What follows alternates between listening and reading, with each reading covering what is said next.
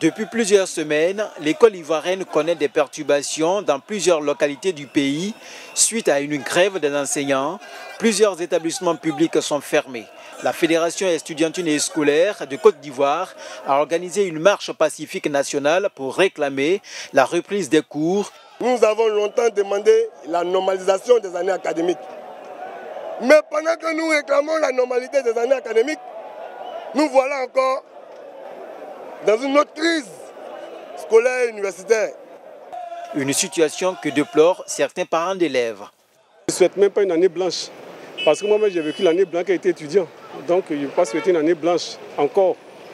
J'aurais voulu que, que chacun mette un peu d'eau dans son vin. Que le gouvernement aussi fait bas la terre. C'est vrai, chaque ville ne peut pas s'arrêter pour parler. Ils revendiquent leurs droits, c'est normal. Ils ont, ils ont travaillé, ils doivent avoir des conditions de vie paisibles. S'ils revendiquent, eux maintenant de s'attendre à eux, leur faire comprendre la violence là, ça ne résout rien. Aujourd'hui, on allait à la violence 2010, jusqu'à aujourd'hui, voilà ce qu'on est. On est tout est bloqué sur tout le monde. Donc ça, l'école, on n'y peut rien. Pour cette énième perturbation, les grands perdants, qui sont les élèves et étudiants, affichent un sentiment de désolation et appellent les deux parties au dialogue.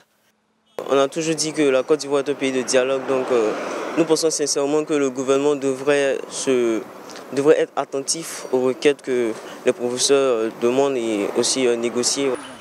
Malgré les appels du gouvernement ivoirien, qui plaide pour une reprise des cours, les portes de certains établissements sont toujours fermées.